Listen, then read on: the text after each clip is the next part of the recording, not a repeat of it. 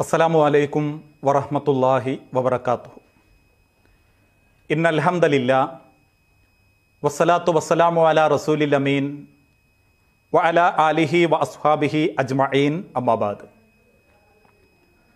അഊദു ബില്ലാഹി മിനശ് ശൈത്വാനിർ റജീം ബിസ്മില്ലാഹിർ റഹ്മാനിർ റഹീം യാ അയ്യുഹല്ലദീന ആമനു തഖുല്ലാഹ ഹഖ്ക തുഖാതിഹി വലാ തമോത്തുന്ന ഇല്ലാ വഅൻതും അൻതും മുസ്ലിമൂൻ ബിസ്മില്ലാഹിർ റഹ്മാനിർ റഹീം ഇന്ന ബത്ഷ റബ്ബിക ലശദീദ് ഇന്നഹു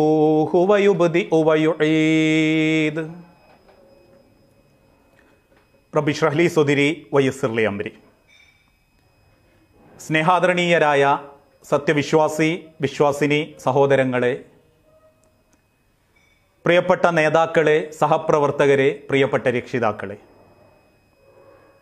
മുക്കം മണ്ഡലം കേന്നം ക്യാമ്പയിന്റെ ഭാഗമായിട്ടുള്ള പ്രചരണ പരിപാടിയുടെ ഭാഗമായിട്ടാണ് നമ്മളിവിടെ ഒരുമിച്ച് കൂടിയിട്ടുള്ളത്. കഴിഞ്ഞ ഒരു നൂറ്റാണ്ട് കാലത്തിലധികമായി കേരളത്തിനകത്തും പുറത്തും ഒട്ടേറെ നവോത്ഥാന പ്രവർത്തനങ്ങൾക്ക് നേതൃത്വം കൊടുത്ത കേരള നദുവത്തിൽ മുജാഹിദീൻ എന്ന മുജാഹിദ് പ്രസ്ഥാനത്തിന്റെ പുതിയ പ്രമേയമാണ് നേരുള്ള വ്യക്തി നേരായ സമൂഹം തൗഹീദാണി നിദാനം എന്ന ഒരു സന്ദേശം. ഒരു വ്യക്തിയുടെ ജീവിതത്തിൽ അടിയുറച്ച ഒരു ഏകദൈവ വിശ്വാസി തൗഹീദിൽ ഉറച്ചു നിൽക്കുന്ന ഒരു വ്യക്തിയാണെങ്കിൽ അത് ആ വ്യക്തിയുടെ ജീവിതത്തിന്റെ സർവ മേഖലകളിലും കാണാൻ സാധിക്കുമെന്നും. അവൻ ഇടപെടുന്ന ഏതൊക്കെ രംഗത്ത് ഏതൊക്കെ വിഷയത്തിൽ അവൻ ഇടപെടുന്നുണ്ടോ ആ രംഗത്തൊക്കെ നേരിനൊപ്പം ന്യായത്തോടൊപ്പം നിൽക്കാൻ സാധിക്കുന്നതിന് അവനെ പ്രേരിപ്പിക്കുമെന്നും പ്രവാചകൻ സല്ലല്ലാഹു അലൈഹി വസ്സലമയുടെ ചരിത്രം സന്ദേശം നമ്മളെ ബോധ്യപ്പെടുത്തിയിട്ടുണ്ട്. പ്രത്യേകിച്ച് നമ്മൾ ജീവിച്ചുകൊണ്ടിരിക്കുന്ന ഈ കാലഘട്ടത്തിൽ അന്യായങ്ങൾക്കാണ് കൂടുതലും പബ്ലിസിറ്റിയും അന്യായക്കാരോടൊപ്പമാണ് കൂട്ടുകൂടാൻ പലർക്കും താല്പര്യവും കൈക്കൂലിയും പിടിച്ചുപറയും കൊള്ളയും കൊലപാതകങ്ങളും മുതൽ മതത്തിന്റെ പേരിൽ പോലും മതത്തെ വാണിജ്യമായി ചിന്തിക്കുകയും മതത്തെ അവനവന്റെ താല്പര്യത്തിനനുസരിച്ച് വിശദീകരിക്കുന്ന പുരോഹിതന്മാരും പണ്ഡിതവർഗങ്ങളും കൂടിക്കൊണ്ടിരിക്കുന്ന സാഹചര്യമാണ് ഇന്നത്തെ സാഹചര്യം. ഇതിനിടയിൽ കുടുംബരംഗത്ത് നിന്നും കേൾക്കുന്ന വാർത്തകൾ നമ്മളെ ഏറെ ആശങ്കപ്പെടുത്തുന്നുണ്ട്. തൗഹീദുള്ള കുടുംബങ്ങളാണെങ്കിലും തൗഹീദ് ഇല്ലാത്ത കുടുംബങ്ങളാണെങ്കിലും കുടുംബത്തിലെ ന്യായത്തോടൊപ്പം നിൽക്കാനും നേരിന്റെ കൂടെ മുൻപോട്ട് പോകാനും പലർക്കും സാധിക്കുന്നില്ല എന്നുള്ളത് ആർക്കും നിഷേധിക്കാൻ പറ്റാത്തൊരു വസ്തുതയാണ്. തൗഹീദില്ലാത്ത കുടുംബങ്ങളാണെങ്കിൽ നമുക്ക് ആശ്വസിക്കാം. അവർക്ക് പരലോകബോധമോ ദൈവീക ചിന്തയോ ഇല്ലാത്തതുകൊണ്ടാണ് എന്ന്. അതുകൊണ്ടാണല്ലോ ഏതാനും മാസങ്ങൾക്ക് മുൻപ് ഒരു കുടുംബത്തിൽ ക്രൂരമായി ഭർത്താവിനെ കൊലപ്പെടുത്തുന്ന ഭാര്യയുടെ ചരിത്രം പറഞ്ഞപ്പോ യാതൊരു മടിയും കൂടാതെ ഉദാസീനതയോടെ അവർ തിരിച്ചു പറഞ്ഞ മറുപടി എനിക്കയാളെ വേണ്ട. എനിക്ക് വേറെ ജീവിതം വേണമെന്ന് തോന്നി അതുകൊണ്ട് ഞാൻ അദ്ദേഹത്തെ ഒഴിവാക്കാൻ ശ്രമിച്ചു ഒഴിവാക്കി കൊന്നു എന്ന് ഒരു മനസാക്ഷി കുത്തുമില്ലാതെ ഒരു വ്യക്തിയെ പറയാൻ പ്രേരിപ്പിക്കുന്നത് അവർക്ക് ദൈവീക ബോധം ഇല്ലാത്തതുകൊണ്ടാണ് എന്നാൽ ദൈവബോധം തൗഹീദുള്ള നമ്മളുടെ കുടുംബത്തിൽ പോലും ആ ബോധത്തോടുകൂടി കുടുംബത്തെ സംവിധാനിക്കാനും നേരായ കുടുംബ സംവിധാനത്തിലൂടെ മുൻപോട്ട് പോകാനും സാധിക്കുന്നില്ലെങ്കിൽ തീർച്ചയായും നമ്മളെ കുടുംബത്തെപ്പറ്റിയും നമ്മളെ വിശ്വാസത്തെപ്പറ്റിയും ഒരു വ്യക്തി എന്ന നിലയ്ക്ക് നമ്മളുടെ ന്യായത്തെപ്പറ്റിയും നമ്മൾ ഓരോരുത്തരും ആശങ്കപ്പെടുകയും ചിന്തിക്കുകയും തിരുത്തപ്പെടുകയും ചെയ്യേണ്ടതുണ്ട്. ഈ ലോകത്ത് പല രീതിയിലും പല രൂപത്തിലും അള്ളാഹുവിന്റെ ദൈവത്തിന്റെ കാരുണ്യങ്ങളുണ്ടാകും അതുകൊണ്ട് തന്നെ ആ കാരുണ്യത്തിലും അള്ളാഹുവിന്റെ അനുഗ്രഹങ്ങളിലും ഏറ്റവും വിലമതിക്കാനാവാത്ത അനുഗ്രഹം അത് സമാധാനമുള്ളൊരു കുടുംബം തന്നെയാണ് ചിലർ പറയും പണമാണ് ഏറ്റവും വലിയ അനുഗ്രഹമെന്ന്. നമ്മളിൽ പലരും കോടീശ്വരന്മാർ ആരും അറിയാതെ ബാങ്കിൽ ലക്ഷക്കണക്കിന് രൂപ കൊണ്ട് നടക്കുന്നവരാ. പക്ഷേ കുടുംബത്തിൽ സമാധാനത്തോടെ ഒരു നേരം കഞ്ഞി കുടിക്കാൻ വെള്ളം കുടിക്കാൻ സാധിക്കുന്നില്ലെങ്കിൽ ആ ലക്ഷങ്ങൾക്ക് പിന്നെന്ത് വിലയാണ്? നമ്മളിൽ പലരും സഞ്ചരിക്കുന്നത് ലക്ഷങ്ങളുടെ വാഹനത്തിലാ. പക്ഷേ ഉള്ളിൽ കയറുന്ന സമയത്ത് പോലും ശീതീകരിക്കപ്പെട്ട എ സിയുടെ ആ വി ഉള്ളിൽ കുടുംബത്തിന്റെ സമാധാനക്കേട് ചിന്തിച്ച് ആശങ്കപ്പെട്ട് ഉള്ളുരുകിയാണ് ജീവിക്കുന്നതെങ്കിൽ പുറമെ തണുപ്പിക്കുന്നുണ്ടെങ്കിലും ഉള്ളു തണുക്കാത്ത കുടുംബത്തിന്റെ ഉടമകളാണ് നമ്മളെങ്കിൽ ആ ലക്ഷറി വാഹനം കൊണ്ട് എന്ത് നേട്ടമാ നമുക്കുണ്ടാക്കാൻ സാധിക്കുക? മക്കളുണ്ടെന്ന് അഭിമാനം കൊള്ളുമ്പോഴും മക്കളില്ലാത്തവരെ നോക്കി സങ്കടം പ്രകടിപ്പിക്കുമ്പോഴും സ്വന്തം മക്കളെ കൊണ്ട് ദുനിയാവിലും ആഹാരത്തിലും സമാധാനവും സംരക്ഷണവും കിട്ടും. അവരെ കൊണ്ട് എനിക്ക് സ്വർഗത്തിലേക്ക് പോകാനുള്ള വകുപ്പുണ്ടാകുമെന്ന് ഉറപ്പിച്ച് പറയാൻ പറ്റാത്ത നമുക്ക് എന്ത് സമാധാനമാണ് നമ്മളെ കുടുംബം നൽകുന്നത്? അവിടെയാണ് ലോകത്തിന്റെ പ്രവാചകൻ വിശുദ്ധ ഖുർആാനിലൂടെ പഠിപ്പിച്ചതും നിങ്ങളെ റബ്ബ് വ്യത്യസ്ത കുടുംബങ്ങളും ഗോത്രങ്ങളും വ്യത്യസ്ത വിഭാഗങ്ങളുമാക്കിയത് പരസ്പരം മത്സരിക്കാനും അപരനെ നോക്കിയ പൊങ്ങച്ചം കാണിച്ച് ജീവിക്കാനും വേണ്ടിയിട്ടല്ല. മറിച്ച് ഇന്ന അക്ര താറഫു നിങ്ങൾ പരസ്പരം മനസ്സിലാക്കാൻ. അങ്ങനെ മനസ്സിലാക്കി ജീവിക്കുന്നതിൽ നിങ്ങൾക്കുണ്ടാവേണ്ട യോഗ്യത എന്താ? ഇന്ന അക്രമക്കും ഇന്ദല്ലാഹി അത്തുക്കാക്കും നിങ്ങളിൽ ഏറ്റവും നല്ല മാന്യൻ ആ മാന്യനാര? വലിയ തറവാട്ടുകാരൻ എന്ന് ലോകത്തിന്റെ തിരുദൂതനോ ഖുർആാനോ പഠിപ്പിച്ചിട്ടില്ല. നിങ്ങളിൽ ഏറ്റവും നല്ല മാന്യൻ സകല കാര്യങ്ങളിലും മധ്യസ്ഥം നിൽക്കുന്നവൻ അല്ലെങ്കിൽ നാട്ടുകാരെ കാണിക്കാൻ വേണ്ടി കുടുംബത്തിന് എല്ലാ സൗകര്യങ്ങളും ചെയ്തു കൊടുക്കുന്നവൻ സൗന്ദര്യവൻ സൗന്ദര്യമുള്ള പെണ്ണ് എന്നല്ല വിശുദ്ധ ഖുർആൻ പഠിപ്പിച്ചത്. ഇന്ദല്ലാഹി അത്തുക്കാക്കും അള്ളാഹുവിനെ ഭയപ്പെടുന്നവരാണ് ഏറ്റവും നല്ല കുടുംബക്കാർ ഏറ്റവും നല്ല മാന്യന്മാർ. ആ റബ്ബിനെ ഭയപ്പെടുക എന്നുള്ളത് ആ കുടുംബത്തിൽ നമ്മൾ ആ വിശ്വാസത്തിന്റെ ഉടമകളാണെങ്കിൽ തൗഹീദ് അടിയുറച്ച് വിശ്വസിക്കുന്ന നേരിനൊപ്പം നിൽക്കുന്ന ഒരു വ്യക്തിത്വത്തിന്റെ ഉടമയാണ് നമ്മളെങ്കിൽ ആ കുടുംബത്തോട് നമ്മൾ കാണിക്കേണ്ട ഭയഭക്തി എന്താ? ആ കുടുംബത്തോട് നമ്മൾ കാണിക്കേണ്ട ധർമ്മം ആ ഏറ്റവും നല്ല പാത ആ കുടുംബത്തെ ഏകദൈവ വിശ്വാസത്തിൽ ഉറപ്പിച്ചു നിർത്തുക എന്നുള്ളതാ. ഇന്ന് തൗഹീദിൽ ഉറച്ചു നിൽക്കുന്ന വാപ്പയുടെ പല മക്കളും ബഹുദൈവ വിശ്വാസത്തിലേക്ക് ചേക്കേറാൻ തുടങ്ങി. മറ്റു പലരും പല രീതിയിലുമുള്ള വർഗീയ തീവ്രവാദ ചിന്തകളിലേക്കും പോകാൻ തുടങ്ങി. ഉപഹിതീങ്ങളായി ഏകദൈവ വിശ്വാസത്തിൽ ഉറച്ചു നിന്ന് അത് മരിക്കുന്നതുവരെ നീ തുടർന്ന് നൽകണേ നാഥ എന്ന് പ്രാർത്ഥിക്കുന്ന മുവഹിദീങ്ങളായ മുജാഹിദീങ്ങളായ ആ രീതിയിൽ വിശ്വാസത്തെ കൃത്യമായി നെഞ്ചോട് ചേർക്കുന്ന ഒരു വിശ്വാസത്തിന്റെ ഉടമകളായിരുന്നിട്ട് കൂടി സ്വന്തം ജീവിതത്തെയും സ്വന്തം കുടുംബത്തെയും ആ തൗഹീദിലേക്ക് കൊണ്ടുവരാൻ നമുക്ക് സാധിക്കുന്നിടത്താണ് നമ്മളുടെ വിശ്വാസത്തിന്റെ ചൈതന്യവും ഒരു വ്യക്തി എന്ന നിലയ്ക്ക് നമ്മൾ ന്യായത്തിലും നേരിലും നിൽക്കുന്ന വിശ്വാസിയായി മാറുന്നത്. മഹാനായ പ്രവാചകന്മാരുടെ ചരിത്രങ്ങൾ പരിശോധിച്ചാൽ നമുക്കത് മനസ്സിലാക്കാൻ സാധിക്കും. യാക്കൂബ് നബി അലൈഹി സ്വലാത്തു വസ്സലാം ലുക്കുമാൻ നബി ലുക്കുമാൻ അലൈഹി സ്വലാത്തു വസ്സലാം തന്റെ മക്കളോട് ചോദിക്കുന്ന ഒരു ചോദ്യവും ഉപദേശിക്കുന്ന ഉപദേശവും മക്കളെ നിങ്ങൾ ആരെ ആരാധിക്കും? അവർ തിരിച്ചു പറഞ്ഞു പിതാവേ താങ്കളും താങ്കളുടെ പൂർവ പിതാവുമായ ഇബ്രാഹിം നബി ഏത് ദൈവത്തെ ഏത് അള്ളാഹുവിനെ ആരാധിച്ചോ അതേ അള്ളാഹുവിനെ. ഒരു വാപ്പാന്റെ സന്തോഷമാണത് ഒരു കുടുംബത്തിലുള്ള ഒരു പിതാവിന്റെ മാതാവിന്റെ ഏറ്റവും വലിയ വിജയമാണത്. ലുക്കുമാൻ അലൈഹി സ്വലാത്തു വസ്സലാം മകൻ അടുത്ത് വിളിച്ചിട്ട് പറഞ്ഞു യാ ബുനയ്യ ലാത്തുശിരിക്കുമില്ല ഇന്ന അലീം മോനെ അള്ളാലു പങ്കു ചേർക്കരുത് അത് കൊടിയ പാപമാ. മഹാനായ അന്ത്യപ്രവാചകൻ മുഹമ്മദ് നബി സല്ലാഹു അലൈഹി വസ്ല്ലം നബുവത്ത് കിട്ടുന്നതിന്റെ മുൻപ് ബഹുദൈവ വിശ്വാസി കുടുംബങ്ങളിലേക്ക് കല്യാണം കഴിച്ചയക്കേണ്ടി വന്ന രണ്ട് മക്കളെ തൊലാക്ക് ചൊല്ലിച്ച് വിശ്വാസത്തിലേക്ക് വന്ന് കൂട്ടിക്കൊണ്ടുവന്ന് വിശ്വാസിയായ ഒരു ഖലീഫക്ക് കല്യാണം കഴിപ്പിച്ചു കൊടുത്ത ചരിത്രം. സൈനബ അലി അള്ളാഹു അൻഹ മുതൽ ഫത്തിമ ബീബി റതി അള്ളാഹു അൻഹ വരെ ഏകദൈവ വിശ്വാസത്തിൽ ഉറച്ചു നിന്ന് ജീവിച്ചു മരിച്ചവരാണെങ്കിൽ പ്രിയപ്പെട്ട രക്ഷിതാക്കളെ നേരായ വ്യക്തിയാവുമ്പോൾ നേരുള്ള കുടുംബമാകണമെങ്കിൽ സ്വന്തം മക്കളെ തൗഹീദിൽ ഉറപ്പിച്ചു നിർത്താൻ നമുക്ക് സാധിക്കണം. കഴുകൻ കണ്ണുകളുമായി മീഡിയകളും പല രീതിയിലുമുള്ള വിശ്വാസങ്ങളും മക്കളിലേക്ക് ചൂഷണം ചെയ്യപ്പെടുമ്പോൾ അത് ശരിയല്ല മക്കളെ. ഏകദൈവ വിശ്വാസത്തിൽ ഉറച്ചു നിന്നാൽ അത് അള്ളാഹുവിന്റെ കാരുണ്യമായിരിക്കുമെന്ന് ലോകത്തിന് പഠിപ്പിച്ചു കൊടുത്ത പ്രവാചകന്മാരുടെയും സഹാബത്തിന്റെയും ചരിത്രം സ്വന്തം തലമുറകൾക്കും മക്കൾക്കും പഠിപ്പിച്ചു കൊടുക്കുന്ന നേരായ കുടുംബമായി മാറാൻ ഓരോ രക്ഷിതാക്കൾക്കും സാധിക്കേണ്ടതുണ്ട്. നേരുള്ള വ്യക്തിയാണ് നമ്മളെങ്കിൽ നമ്മളെ കുടുംബത്തിൽ ദീനീ ചിട്ടകൾ കൊണ്ടുവരാൻ അഥവാ അത്തുക്കാക്കും എന്ന് റബ്ബ് പരിചയപ്പെടുത്തിയ സൂക്ഷ്മത കാണിക്കുന്ന വ്യക്തിയാവണമെങ്കിൽ കുടുംബത്തെ ദീനീ ചിട്ടയിൽ മുൻപോട്ട് കൊണ്ടുപോകാൻ സാധിക്കണം. ഒരു ആണ് ആരായിരിക്കണം? അവൻ ആ കുടുംബത്തിന്റെ ഭരണാധികാരിയായിരിക്കണം.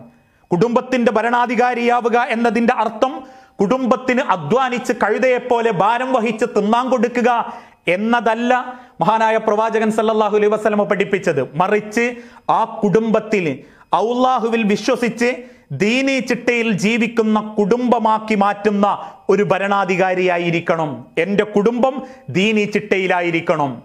ഒരു ഉമ്മ വീടിന്റെ ഭരണാധികാരി എന്നതിന്റെ അർത്ഥം ആ വീട് ഉമ്മയെ ഭരിക്കാൻ പാടുള്ളൂ എന്ന അർത്ഥത്തിലല്ല മറിച്ച് ആ മാതാവിന്റെ പെരുമാറ്റം കൊണ്ടും ഇടപെടലുകളെ കൊണ്ടും ആ കുടുംബത്തിൽ റബ്ബിന്റെ ബർക്കത്തും മലക്കുകളും ഇറങ്ങുന്ന വീടാക്കി മാറ്റാൻ ഒരു ഉമ്മാക്ക് സാധിക്കണം. പക്ഷേ ഇന്ന് തൗഹീദ് ഉണ്ടെന്ന് അവകാശപ്പെടുന്ന നമ്മളിൽ പലരുടെയും കുടുംബത്തിൽ അള്ളാന്റെ മലക്കിറങ്ങുമെന്നോ ആ കുടുംബത്തിൽ ഒരു ദീനീ ചിട്ടയുണ്ടെന്നോ ആത്മാർത്ഥമായി പറയാൻ ഹൃദയത്തിൽ കൈവച്ച് പറയാൻ നമ്മളെ കൊണ്ട് സാധിക്കുന്നില്ലെങ്കിൽ നേരുള്ള വ്യക്തി എന്നതിനെ സ്വന്തം ജീവിതത്തിൽ എന്തർത്ഥമാണ് അതുകൊണ്ട് നേടാൻ സാധിച്ചത് എന്നോരോരുത്തരും ചിന്തിക്കേണ്ടതുണ്ട്. അതുകൊണ്ടാണല്ലോ മഹാനായ പ്രവാചകൻ സല്ലല്ലാഹു അലൈഹി വസല്ലമ ഓർമ്മപ്പെടുത്തിയതും ആ മക്കൾ നേരുള്ളൊരു വ്യക്തിയായി തൗഹീദുറച്ച് ജീവിക്കുന്ന ഒരു വാപ്പയും ഉമ്മയുമാണ് ഞാനെങ്കിൽ ഒരു കുടുംബത്തിലെ അംഗമാണ് ഞാനെങ്കിൽ ആ കുടുംബത്തിലെ തൗഹീദുള്ള വ്യക്തി എന്ന നിലയ്ക്ക് എന്നിൽ നിന്ന് എന്റെ കുടുംബത്തിന് കിട്ടുന്ന മാതൃക എന്ത്? പല കുടുംബത്തിലും ഉപഹിതീങ്ങളുണ്ട്. പല കുടുംബത്തിലും ഏകദൈവ വിശ്വാസത്തിൽ ഉറച്ചു നിൽക്കുന്നവരുണ്ട്. ചിലരെങ്കിലും കുടുംബത്തിൽ അതിന്റെതായ രീതികളിലേക്ക് കൊണ്ടുപോകാൻ ശ്രമിക്കുന്നുമുണ്ട്. അനുഭവങ്ങളുടെ വെളിച്ചത്തിൽ തന്നെ പല കുടുംബങ്ങളും പറയാറുണ്ട് അവന്റെ നിർബന്ധം കൊണ്ടാ കല്യാണം ഇത്ര ലളിതമായത്. അവന്റെ നിർബന്ധം കൊണ്ടാ മക്കളെ ഞാൻ അവിടെ ചേർത്തത്. അവന്റെ നിർബന്ധം കൊണ്ടാ നിന്റെ മകളെ ഞാൻ ദീൻ പഠിക്കാൻ വിട്ടത്. ഇങ്ങനെ പറയുമ്പോൾ ആ വ്യക്തി എന്ന നിലയ്ക്ക് അവന്റെ വിശ്വാസവും അവന്റെ സന്ദേശവും ആ കുടുംബത്തിന് ഉപകാരപ്പെട്ടിട്ടുണ്ട് എന്നാണ് അർത്ഥം. എന്നാൽ അതേ വിശ്വാസിയായ നമ്മളിൽ നിന്ന് നമ്മളെ കുടുംബത്തിനും നമ്മളെ മക്കൾക്കും ഒരു മാതൃക പഠിപ്പിക്കാൻ നമ്മളെ കൊണ്ട് സാധിച്ചിട്ടില്ലെങ്കിൽ നേരുള്ള വ്യക്തി എന്നത് സ്വന്തത്തോട് ചേർത്ത് വെക്കുമ്പോൾ അത് നേരുള്ള വ്യക്തിത്വത്തിന്റെ ഉടമയായിട്ടുണ്ടോ ഞാൻ എന്നോരോരുത്തരും ചിന്തിക്കേണ്ടതുണ്ട്. അതോടൊപ്പം തന്നെ മഹാനായ പ്രവാചകൻ സല്ലല്ലാഹു അലൈഹി വസ്ലമ ഓർമ്മപ്പെടുത്തിയതുപോലെ കുടുംബത്തിൽ മക്കളുടെയും കുടുംബത്തിന്റെയും സംവിധാനത്തിൽ പാരത്രിക ലോകത്തിന്റെ മഹത്വവും ദുനിയാവിന്റെ നിരർത്ഥകതയും നൈമിഷികമായ ദുനിയാവിന്റെ അവസ്ഥയും ബോധ്യപ്പെടുത്തി കൊടുക്കാൻ സാധിക്കേണ്ടതുണ്ട്. ഈ ദുനിയാവ് വലുതാണെന്ന് കരുതി ജീവിക്കുന്ന ഒരു തലമുറയാ ഇന്നത്തെ സമൂഹത്തെ കീഴ്പ്പെടുത്തിക്കൊണ്ടിരിക്കുന്നത്. അടിച്ചു പൊളിക്കണം ആഘോഷിക്കണം എല്ലാ ആർഭാടങ്ങളുടെയും സന്തോഷവും സമാധാനവും അനുഭവിക്കണം എന്നൊക്കെയുള്ളൊരു തെറ്റായ ചിന്ത. ലൈഫ് ആസ്വദിക്കാനുള്ളതാണ് എന്നൊരു ബോധം അവിടെ അറിയിച്ചു കൊടുക്കാൻ പറ്റണം. എന്റെ കുടുംബത്തിൽ അങ്ങനെയൊരു ഉണ്ടാവാൻ പാടില്ല. കുടുംബത്തിലെ അംഗങ്ങൾ ഉണ്ടാവാൻ പാടില്ല. ഞാനൊരു തൗഹീദുറച്ച കുടുംബക്കാരനാണെങ്കിൽ അങ്ങനെ ഒരു വ്യക്തിത്വത്തിന്റെ ഉടമയാണ് ഞാനെങ്കിൽ എന്റെ കുടുംബത്തിൽ വളരുന്ന മക്കൾക്ക് ദുനിയാവിന്റെ നൈമിഷികതയും നിരർത്ഥകതയും പാരത്രിക ലോകത്തിന്റെ വലുപ്പവും ബോധ്യപ്പെടണം. അതവന് ബോധ്യപ്പെട്ടാൽ വാപ്പയാഗ്രഹിക്കുന്ന തൗഹീദുറച്ചൊരു വാപ്പയാഗ്രഹിക്കുന്ന മകനായി മകളായി ആ മക്കൾക്ക് മാറാൻ സാധിക്കും. ആ ഭർത്താവ് ഉദ്ദേശിക്കുന്ന ഒരു ഭാര്യയായി മാറാൻ ആ ഭാര്യക്ക് സാധിക്കും. അതിനെന്തു വേണം? അവർക്കറിയിച്ചു കൊടുക്കുന്നത് ദുനിയാവിന്റെ നിരർത്ഥകതയെ പറ്റിയായിരിക്കണം. ഇന്നമൽ ഹയാത്ത് ദുനിയ ലഹബുൻ വലഹബുൻ. ഈ ദുനിയാവിലെ ജീവിതം എന്ന് പറഞ്ഞാൽ അതൊരു കളിയും വിനോദവും മാത്രമാ. ഏതെങ്കിലും വെളിച്ചത്തിൽ മഴയത്ത് ഒരു സസ്യം മുളച്ചു പൊന്തുന്ന അത്രമാത്രം അടുത്ത വെയിലത്ത് കരിഞ്ഞു പോകുന്നത് പോലെ പത്തറുപത് എഴുപത് കൊല്ലം മാത്രം ഈ ലോകത്ത് അവസരം കിട്ടിയ ഈ ദുനിയാവിനെ സ്നേഹിക്കാതെ അതിന്റെ അപ്പുറം കാത്തിരിക്കുന്ന അവസാനമില്ലാത്ത ഒരു വലിയ ലോകത്തിന് വേണ്ടി സ്വന്തം കുടുംബത്തെ ചിട്ടപ്പെടുത്താൻ നമുക്ക് സാധിക്കേണ്ടതുണ്ട്.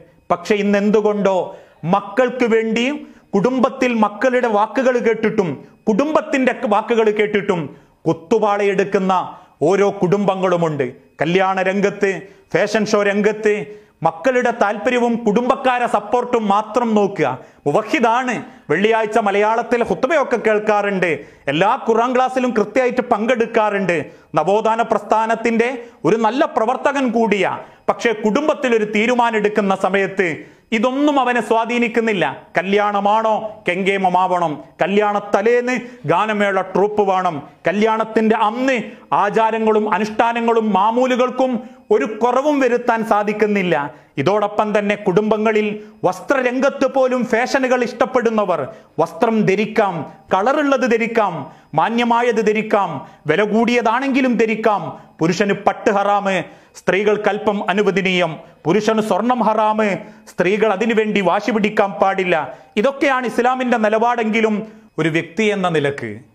നമ്മുടെ കുടുംബത്തിൽ തൗഹീദിൽ ഉറച്ചു നിന്നൊരു തീരുമാനമെടുക്കാൻ നമ്മളെ കൊണ്ട് സാധിക്കുന്നില്ലെങ്കിൽ നമ്മുടെ വിശ്വാസത്തിന് എന്ത് പ്രസക്തിയാണ് നമ്മളെ ജീവിതത്തിൽ ഉണ്ടായത് എന്ന് നമ്മൾ ഓരോരുത്തരും ചിന്തിക്കേണ്ടതുണ്ട്. ഒരു കല്യാണം സംഘടിപ്പിക്കപ്പെടുമ്പോൾ മറ്റേതെങ്കിലും തരത്തിലുള്ള ഒരു കച്ചവട വിഷയത്തിൽ ഇടപെടുമ്പോൾ ജീവിതത്തിന്റെ ഓരോ ഘട്ടങ്ങളിലും നമ്മൾ ഇടപെടുന്ന ഏത് മേഖലകളാണെങ്കിലും അതൊരു പച്ചക്കരടുള്ള മൃഗത്തോട് പോലും ഇടപെടുന്ന വിഷയത്തിൽ ഒരു തൗഹീദിന്റെ നന്മ നമ്മളെ ജീവിതത്തോട് ചേർത്ത് നിർത്താൻ സാധിക്കുമ്പോൾ മാത്രമാണ് നമ്മളെ വിശ്വാസം കൊണ്ട് പാരിത്രിക ലോകത്ത് നമുക്ക് നേട്ടങ്ങൾ ഉണ്ടാവുന്നത്. ഒരു കുടുംബ സംവിധാനത്തിൽ ജീവിക്കുമ്പോൾ ആ കുടുംബത്തിലേക്ക് തീരുമാനങ്ങൾ എടുക്കുന്ന സമയത്ത് അള്ളാഹുവിന്റെ തീരുമാനത്തിൽ ഉറച്ചു നിന്ന് തീരുമാനങ്ങൾ എടുക്കാനും ആ തൗഹീദിന്റെ സന്ദേശം കുടുംബത്തിനു കൂടി പാഠമാകുന്ന നിലയ്ക്ക് പഠിപ്പിക്കാനും ആ ചരിത്രത്തെ അവർക്ക് ബോധ്യപ്പെടുത്തി കൊടുക്കാനും സാധിക്കുമ്പോൾ നമ്മളെ വിശ്വാസത്തിന്റെ വെളിച്ചവും സന്തോഷവും നമ്മൾ അനുഭവിക്കുന്നതോടൊപ്പം അതിന്റെ കണിശതയും സൂക്ഷ്മതയും കുടുംബത്തിന് ബോധ്യപ്പെടുത്തി കൊടുക്കാനും സാധിക്കും. അതല്ലാതെ ഏകദൈവ വിശ്വാസമുണ്ട് എന്ന് പറയുന്ന ആ പറച്ചിൽ മാത്രമായി ജീവിതത്തിന്റെ ഒരു രംഗത്തും കുടുംബത്തിലെ ഒരു രംഗത്തും അതിന്റെ നന്മ കുടുംബത്തിന് അറിയിച്ചു കൊടുക്കാൻ സാധിച്ചിട്ടില്ലെങ്കിൽ പരാജയപ്പെട്ടു പോയ ഒരു ഗുണവും ഉണ്ടാക്കാൻ സാധിക്കാത്ത വിശ്വാസികളായിട്ടാണ് അള്ളാഹു നമ്മളെ കണക്കാക്കുക. നമ്മൾ ഇടപെടുന്ന ഏത് രംഗത്താണെങ്കിൽ പോലും ചിലർ പറയാറില്ലേ ആളൊക്കെ നല്ല മനുഷ്യനാ വക്തിന് പള്ളിയിൽ വരും. എല്ലാ ദീനീ കാര്യങ്ങളിലും മുൻപന്തിയിലുണ്ടാകും. പക്ഷെ കുടുംബത്തിൽ കയറിയ വീട്ടിക്ക് വന്ന തൊട്ടതിനും പിടിച്ചതിനൊക്കെ ദേഷ്യ. ഭാര്യമാരോട് അകാരണമായി ദേഷ്യപ്പെടും.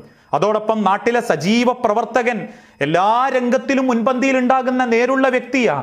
പക്ഷേ ഒരു കൂട്ടായ്മയിൽ ആ സമൂഹത്തിനിടയിലുള്ള തീരുമാനങ്ങളിൽ പെട്ടെന്ന് ദേഷ്യപ്പെടുകയും എല്ലാറ്റിനും കയറി ഇടപെട്ട് ചീത്ത പറയുകയും പലരുമായി കുടുംബബന്ധം മുറിച്ച് ജീവിക്കുകയും ചെയ്യുന്നവനാണെങ്കിൽ ആ വിശ്വാസിയായ മനുഷ്യനെ കൊണ്ട് അയാൾക്ക് തന്നെ ഒരു ഗുണമില്ല എന്നാണ് ആ ജീവിതത്തിന്റെ അർത്ഥം. ഞാനൊരു വിശ്വാസിയാണെങ്കിൽ നേരുള്ള വ്യക്തിയാണെങ്കിൽ എന്റെ കുടുംബ സംവിധാനങ്ങൾ കൃത്യമായിരിക്കും. അന്യായമായ അലോഗ്യങ്ങളോ പിണക്കുകളോ തമ്മിൽ തെറ്റലുകളോ എന്റെ ജീവിതത്തിൽ ഉണ്ടാവില്ല. ഞാൻ എവിടെപ്പെടുന്ന സാമ്പത്തിക രംഗത്ത് കൃത്യതയും നീതിയും സൂക്ഷ്മതയും ഞാൻ കാണിക്കും. എന്റെ വീട്ടിൽ എന്റെ ഭാര്യയോട് മക്കളോട് എന്റെ കുടുംബത്തോട് വീടിനോട് ന്യായമായും സത്യമായും നിലകൊള്ളാൻ ഞാൻ പ്രാപ്തനാകും. എന്തുണ്ടെങ്കിൽ ഒരു വ്യക്തി എന്ന നിലയ്ക്ക് ആ തൗഹീദ് എന്റെ ഹൃദയത്തിലുണ്ടെങ്കിൽ യാന്ത്രികമായ ചെവികളെ കൊണ്ട് തൗഹീദ് അംഗീകരിച്ചെന്ന് വാശി പിടിക്കുകയും കർമ്മങ്ങളിൽ ഒരു രംഗത്ത് പോലും അതിന്റെ സൂക്ഷ്മത കൈവരിക്കാനും സാധിച്ചിട്ടില്ലെങ്കിൽ നാട്ടുകാർക്കിടയിൽ തൗഹീദിന്റെ വക്താവായി അറിയപ്പെടുമെങ്കിലും നാളെ റബ്ബിന്റെ അരികിലേക്ക് മടങ്ങുമ്പോൾ തൗഹീദില്ലാത്ത വിശ്വാസങ്ങളിൽ കൃത്യത പാലിക്കാത്ത അള്ളാഹുവിന്റെ ശത്രുപക്ഷത്തായി പോകും എന്ന തിരിച്ചറിവ് നമുക്കുണ്ടാവണം. അതുകൊണ്ട് പ്രിയപ്പെട്ടവരെ ഞാൻ അവസാനിപ്പിക്കുകയാണ്. ഒരു വ്യക്തി നേരുള്ള വ്യക്തിയാകുമ്പോൾ തൗഹീദ് ഉറച്ച വ്യക്തിയാകുമ്പോൾ നേരുള്ള കുടുംബത്തിൽ അവന്റെ ന്യായപൂർണമായ ഇടപെടലുകൾ ഉണ്ടാകും എന്ന സന്ദേശമാണ് എന്റെ ഈ ഉപദേശം കൊണ്ട് ഞാൻ സൂചിപ്പിച്ചത്. ആ സന്ദേശം ആ മാറ്റം നമ്മളെ ജീവിതത്തിൽ ഉണ്ടാകുന്നില്ലെങ്കിൽ തീർച്ചയായും നമ്മളെ ജീവിതത്തെപ്പറ്റിയും വിശ്വാസത്തെപ്പറ്റിയും ഒരിക്കൽ കൂടി തിരുത്തി ചിന്തിച്ച് അള്ളാഹുവിന്റെ പാരത്രിക ലോകത്തിന് വേണ്ടി ജീവിതമൊരുക്കുന്ന യഥാർത്ഥ മുഗ്മിനീങ്ങളാവാൻ നമ്മൾ ഓരോരുത്തരും പരിശ്രമിക്കുക. അള്ളാഹു അനുഗ്രഹിക്കുമാറാകട്ടെ. വസല്ലാഹു അല നബീന. അസ്സലാമലൈക്കും വറഹമത്തല്ലാഹി വബർക്കാത്തു